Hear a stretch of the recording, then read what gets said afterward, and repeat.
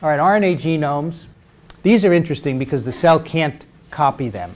The cell doesn't have uh, enzymes that can replicate RNA genomes. Um, can make small RNAs, as you know, like interfering RNAs, but it cannot copy long DNA genomes. So all virus genomes encode their own RNA-dependent RNA polymerase. That's how we abbreviate these enzymes, RDRP.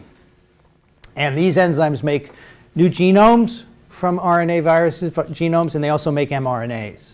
And this can be a little confusing, the difference between a genome and the mRNA, especially if we're talking about a, a plus strand virus, but we'll try and sort it out. And of course, the mRNA, again, made by these viruses, ribosome readable. Here's one class of uh, genome, the double-stranded RNA viruses. They have double-stranded RNA genome. Just like, um, well, just like double-stranded DNA or single-stranded DNA, double-stranded RNA cannot be translated. So you'd think, well, there's a plus strand in there, right? Why can't the ribosome read it? It can't access it. So in order for double-stranded RNA viruses to be translated, you have to make mRNA, and that's done by copying the negative strand to make a plus strand. So that's just something you're going to have to remember that, again, the only, well, not again, but the only RNA that can be translated is a single stranded mRNA. They make proteins and they make new genomes from this single strands by copying them and they encapsulate them. There are quite a few uh, interesting viruses in this category. There are a number of human viruses that cause gastroenteritis. So when you, in the winter time when you get sick, you're vomiting and you have diarrhea, some of these viruses can be the cause of that. And the reoviruses, not only do they have double-stranded RNA genomes, but it's broken up into segments. So each particle can have uh, 10 or 11 double-stranded RNA segments.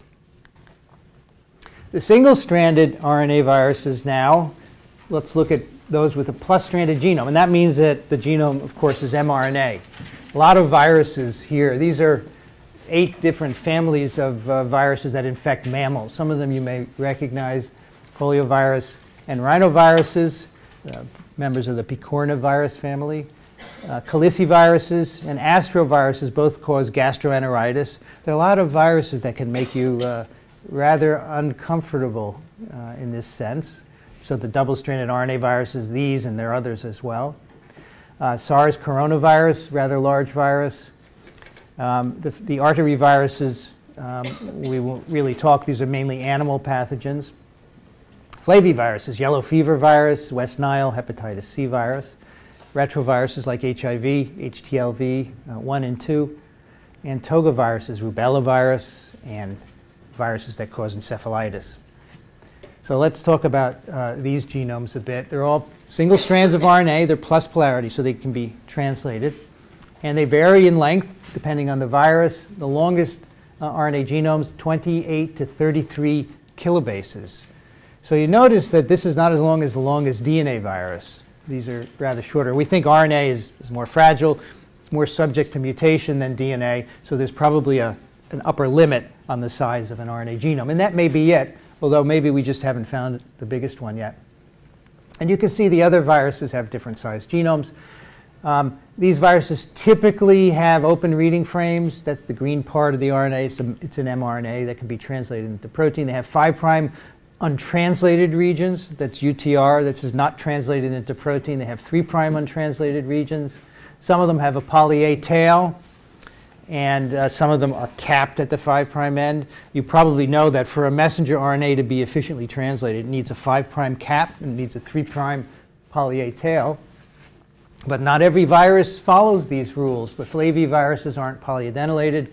And the picornas don't have a cap, they have a protein at the 5' end. And we'll talk about how they get around those requirements with those unusual structures. So what's the strategy? Well, you know that plus sense can be mRNA. All right? And so for these viruses, in fact, the genome is translated as soon as it gets into the cell. So this is the kind of virus that I think should, should win, but it doesn't because it's so efficient. The genome gets made into protein as soon as it gets into the cell. The genome then has to be replicated.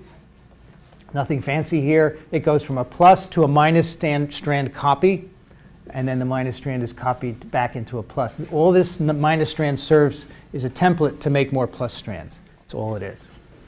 All right, so that's our, our plus sense minuses. Now, there is a class of viruses that have plus stranded RNA genomes, but they go through a DNA intermediate. And those are the retroviruses. There's one viral family, Retroviridae. Uh, there are two human pathogens here human immunodeficiency virus, HIV, and human T lymphotropic virus, HTLV, and they're HTLV1 and 2. Now, this is unusual in a number of ways. First of all, the RNA in the virion is copied to first a negative strand DNA, then that's made double stranded. Uh, this is done by a viral enzyme, reverse transcriptase, and that is in fact the enzyme that David Baltimore, along with Howard Temin, discovered a number of years ago. Uh, and this DNA integrates into the chromosome of the host. So these are unusual in that they become a permanent part of the host cell DNA. Uh, and it's from the host genome that they're transcribed to make mRNA. So uh, you couldn't make stuff like this up if you wanted to design a, a replication cycle. So this virus, these viruses actually don't replicate and they don't make mRNA themselves. The cell does it. Because the genome is replicating with your chromosomal DNA always. The virus doesn't have any DNA polymerase that it needs to use. And the RNA is made by the host cell enzyme as well. Okay, so that's an interesting strategy. So within the genome, you make mRNA and then protein. Uh, eventually, you take some of those mRNAs and you package them into virions and you get new particles. So this is unusual that you make a DNA intermediate, but it allows the virus to become a permanent part of the host cell. So that has some advantages, as you will see. The other weird thing here is that, so plus RNA is, is messenger RNA, right? So this should be translated, but it isn't. so this is one virus family where you'll have to remember that this RNA that comes in the cell, first thing that happens is not translation. It is copying to a DNA intermediate. So that's retroviruses.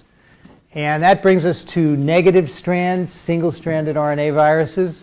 Lots of uh, pretty nasty pathogens here. We have um, measles and mumps virus, those are paramyxoviruses here. Rabies virus, which is the bullet shaped virus. The filoviruses, Ebola and Marburg viruses, filamentous uh, viruses. Influenza virus, the family is Orthomyxoviridae and arenaviridae, famous virus Lassa virus. Uh, Lassa was the topic of this book called Fever. This was written in, in the 1960s, and when I read this book, it made me want to be a virologist. So this is, this is why I'm doing this today, because of this book. I, I had graduated from college, and I didn't know what to do, and I was reading, and I read this, and I said, I have to do virology, and that's it. And that's, that's what happened. So this is a really cool book, which takes place in part up at Columbia. Uh, a lot of the victims, people were dying in Africa, they didn't know why, and, and they were shipping them back to Columbia on commercial airliners. And it turns out that this is an incredibly deadly virus. If you want to work with it today, you need to work in a highly contained facility, a BSL 4 facility. Anyway, that's an arenavirus. So these have negative stranded RNA. So you can predict the first thing that has to happen when this RNA gets into the cell, it's not going to be translated, right? Because it's not plus mRNA. So it has to be copied to a mRNA. Cells can't do this, right? Cells don't have the machinery to copy it. So the virus has to bring in with it in the particle an enzyme that can copy the negative strand into an mRNA. So that's really easy to remember. That's why I say all of this makes perfect sense with a few facts put in your head. You can then trace the lifestyle of all these viruses. So these viruses carry an RNA polymerase in the particle. All the negative strand RNA viruses do that. Um, they make mRNA, which is translated into protein. And then to make more genomes, they go through a plus RNA intermediate uh, to make more RNAs, and those are put into virions. So here's an influenza virus whose genome is in fact in eight pieces. So it's one of these viruses that doesn't have a single molecule, it has eight pieces of genome. So the RNA, the negative sense RNA viruses, their genomes can occur in, in one molecule or in pieces. So influenza viruses, uh, six to eight RNA genome pieces, all in the same particle. You need all of them to start an infection. And then some of the other uh, negative strand viruses, the measles and mumps, the paramyxo, the, the, rabies virus, their genomes are one long negative strand RNA. And these, this has implications for how these are expressed also, and we'll talk about that later. Now, the, the, uh, having a segmented genome is really important because it gives you more genetic variability. So all RNA viruses have enormous variability because their polymerases make errors and they can't correct them.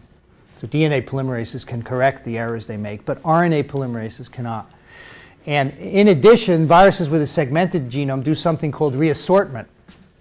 So when two different, say, influenza viruses infect a cell, all the genes reassort in the cytoplasm, and the new viruses that are produced can have segments from both parents. They have to have all eight segments to be infectious, but they can have a mixture.